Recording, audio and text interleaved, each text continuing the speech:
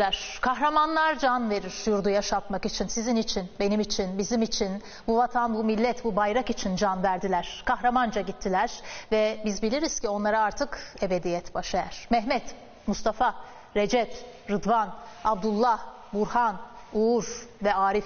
Her birini bir kere daha ve her zaman rahmetle minnetle anarak başlayalım. Bu 8 kahraman Afrin operasyonunda 1083 rakımlı tepede bizler için gözünü kırpmadan canını verdi. Hepsinin bir hayali vardı. Üçü nişanlıydı. Uzman çavuş Recep Çetin daha bir buçuk ay önce baba olmuştu. Kimi Van'dan, kimi en batıdan gitmişti operasyona. Ama hepsinin kalbinde aynı sevgi vardı. Önce vatan.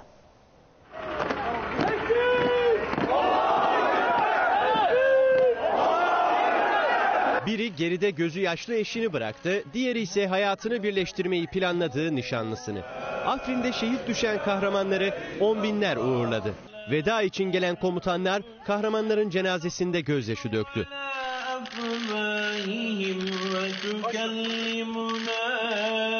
Uzman çavuş Arif Demirel 24 yaşındaydı.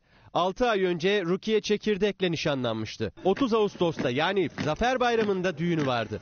Afrin'de destan yazdıktan sonra dönecek, sevdiği kadınla evlenecekti. Operasyona giderken nasipte varsa döneriz sevdiklerimize. Başlasın görev diye yazmıştı. Geri dönmedi. Vatan için canını feda etti. Operasyonun 41. gününde şehadet haberi geldi. Nişanlısı da kız kardeşi de gözyaşlarını tutamadı. Uzman çavuş Burhan Açıkkol da Isparta'daki baba ocağından çıkmadan önce şehit olmaya gidiyorum demişti.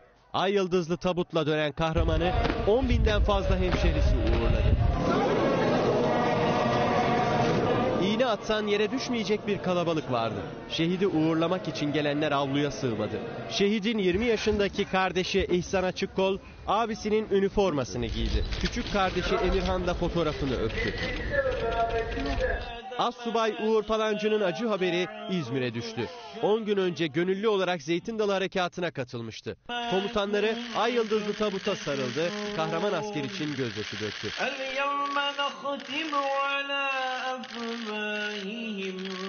Assubay Mehmet Dinek 22 yaşındaydı. 6 ay önce nişanlanan genç evlilik hazırlığı yapıyordu. Sevdiğinin hasretini çekerken yüreği vatan aşkıyla yanıyordu. İki gün önce annesini aramış ve anne buralar çok sisli demişti. Onu şehit eden alçaklar da öyle bir sisli anda saldırmıştı. Kalleşçe vurulmadan önce ailesine bu fotoğrafları yolladı. Teröristlerin hücre evi olarak kullandığı adrese biz öldük mü ki vatan bölünsün yazmıştı. Bir diğer fotoğrafta da memleketi Nazilli'ye böyle selam yollamıştı. Uzman çavuş Recep Çetin bir yıl önce dünya evine girdi. Yavrusu biricik kızı daha bir buçuk aylıktı. 21 Şubat'ta ilkokul öğrencisinin Afrin'deki kahramanlara gönderdiği mektubu paylaşmış. Her haine bir mermi sözümüz olsun diye de not düşmüştü. Babasını İçişleri Bakanı Süleyman Soylu teselli etti.